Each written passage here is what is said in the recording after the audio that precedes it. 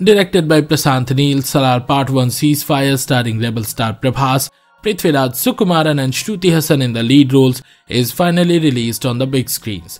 As the action thriller hits the theaters, we thought this would be the perfect time to give you an overview of all the tribes of Khansar in detail so that you can have the best viewing experience. A spoiler warning is in order as we will be discussing essential plot points and character details from the movie. But if you are done watching it already, let's dive straight into the video.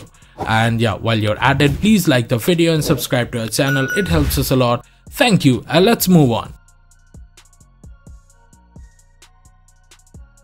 The film is about the three tribes, the Manarasi tribe, the Shauranga tribe and the Ghaniyar tribe who founded the city of Khansar. The fictional town is governed by the rule book called Nibandhan. The book is considered sacred and sets out the laws and regulations of the order of Khansar. According to the book, the city should be ruled by each tribe for 40 years. After 4 decades, power will pass to the next tribe. The Manarasi tribe led by Shivamanna rules the empire for the first term but when it is to be handed over to the Shauranga tribe, Shivamanna's son Rajamanna, played by Jagapati Babu, kills the next tribe members entirely to retain the crown. When he tries to include his son Vardharaja Mannar in the inner circle, conflict arises between the tribes, forcing a ceasefire. Prithviraj Sukumaran has compared Kansa to Game of Thrones, and if we go by fan theories, it certainly matches the show in this regard. At the end of the film, we get to see that Vardha tried to hide some gritty facts about the police from Deva, but when he got to see it firsthand, Deva could not stop himself from killing Vishnu, the son of Narang, one of the Sardars of Rajamanna's court, for having his ways with the Mahara women. Vardha and his team got arrested, including his brother. At the trial, when Narang tried to kill Vardha, Deva killed him. The Council of Ministers voted for and against the ceasefire declaration and finally when both sides got the same number of votes, Vardha was called to cast his vote and break the tie.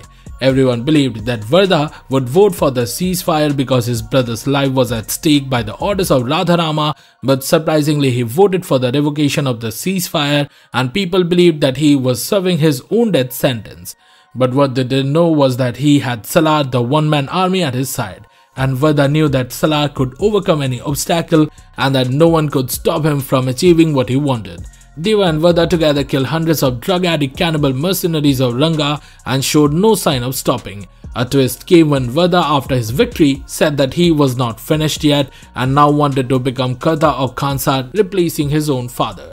There was greed in his eyes as he said these words, and even though Deva was now by his side, there was no telling how long this companionship would last. Rajmanna always knew that the time would come when his own people would rebel against him. He knew that violence was in the blood of everyone left in Khansar But the riots took place on a much larger scale, and we learned some secrets that could potentially completely change the dynamic of the things. First, we learned that many members of the Shauranga clan were still alive and had conspired to overthrow Raj's regime.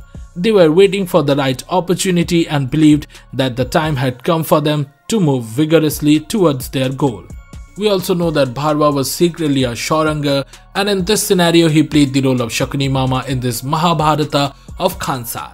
Also the relationship between Vardha and Deva felt quite similar to the dynamics of Karna and Duryodhana from Mahabharata.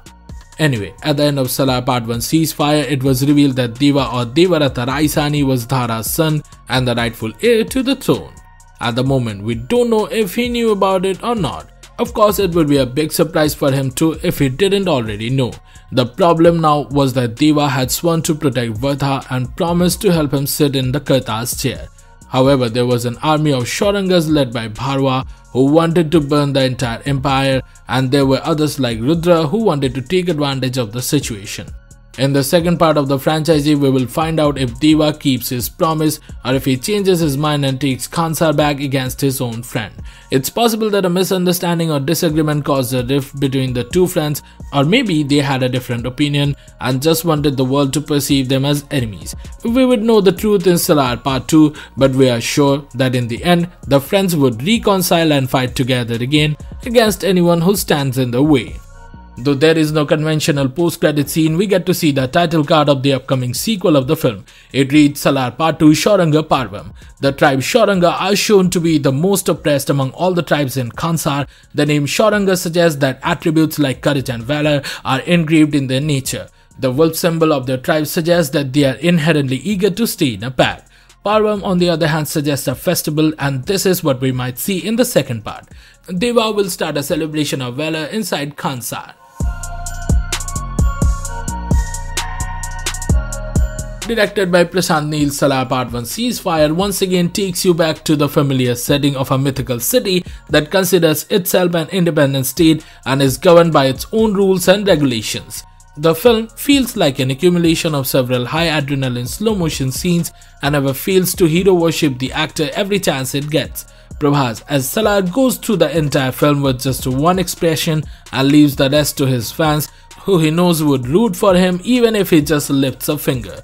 So many things happened at once in Salaar that I eventually lost track of the events and it got to a point where I had to sit down and connect the dots to figure out where the story was going. In a film like Salaar, it is very important to create an initial phase and then reach the climax which gives you an adrenaline rush. But the problem with this particular film is that it wants to jump from one climax to the next and is therefore unable to achieve the desired effect when it matters most because every other scene is treated like the climactic sequence. The deafening BGM of Ravi Basrur, the low-light cinematography of Bhuvan Gowda and the choppy editing of Ujjwal Kulkarni don't help either. According to me, Prithviraj Sukumaran's talent is wasted in this film it does not get the equally high moments as Prabhas as the director suggested in several interviews. While the story maintains a decent pace in the first half, the second half could have benefited from more refined storytelling.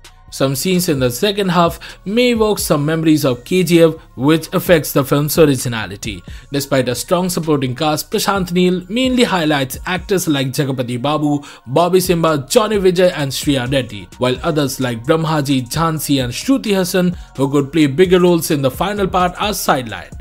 The Ugram derivative failed to impress me and I'm not really interested in the second part for the time being, but I'm definitely impressed by the world building which has never been largely seen in Indian movies. The Game of Thrones like narrative is elevated by the Snyder-like charm the film carries within itself.